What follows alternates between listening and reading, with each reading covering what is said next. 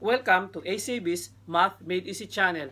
My name is Neri and we're going to discuss today about simplifying fractions or getting its lowest term. Come on, let's start.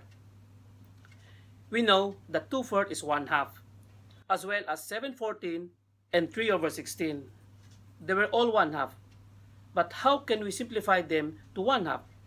First, I'll tell you the type of fractions these are. They are called proper fractions. Proper fractions means that the numerator is less than the denominator.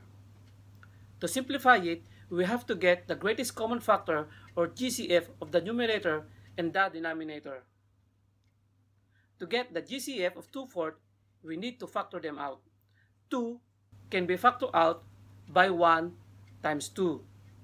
So the prime factor of 2 is 2 only. Just list the prime number. 4 can be factored out by 2 times 2. And the prime factors of 4 are 2 and 2. 2 and 4 has only one common factor of 2. So the greatest common factor of 2 and 4 is 2.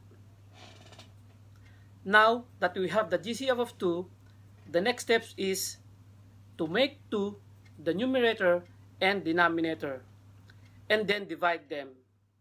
2 divided by 2 equals 1 and 4 divided by 2 equals to 2.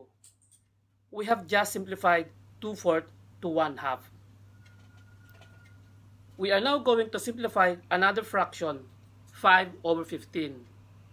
5 can be factored out by 1 times 5. The prime factor of 5 is 5 only. 15 can be factored out by 3 times 5. The prime factors of 15 are 5 and 3. 5 and 15 has only one common factor of 5. So the GCF of 5 and 15 is 5.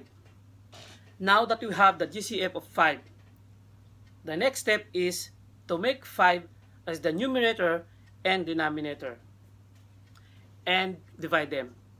5 divided by 5 is equal to 1 and 15 divided by 5 is equal to 3.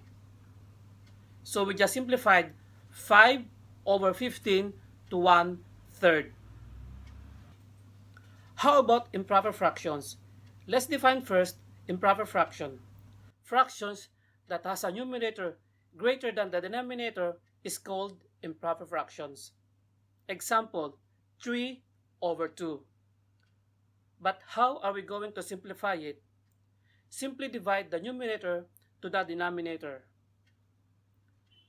3 over 2 can be written to 3 divided by 2.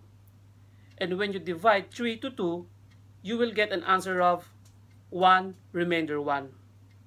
You can rewrite it to 1 plus 1 over 2. This is exactly the same to 1 in 1 half. This is our answer. And this fraction is called mixed fraction. It is a combination of a whole number and proper fractions. We will simplify another example, 9 over 4. We write 9 over 4 to 9 divided by 4 and you will get an answer of 2 remainder 1. We write it to 2 and 1 fourth. And this is our answer. That's our lesson for today. Bye-bye.